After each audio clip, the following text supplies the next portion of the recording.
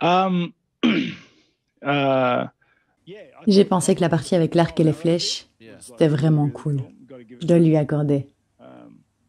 Mais je pensais que la partie avec euh, le fils de Pereira, c'était un peu mesquin. Et il l'admet. Il le dit lui-même, ouais. C'est un mec mesquin. Mais genre, tu peux pas être rancunier contre un gamin de 5 ans. Tu vois ce que je veux dire?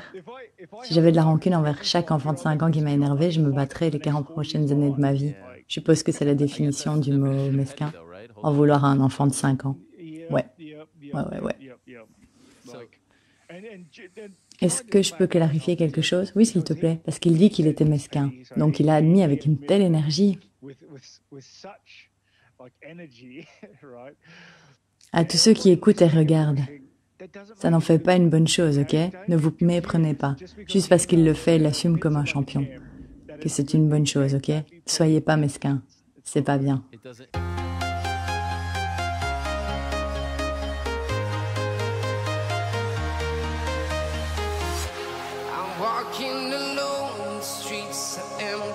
The only thing I can see is my own silhouette.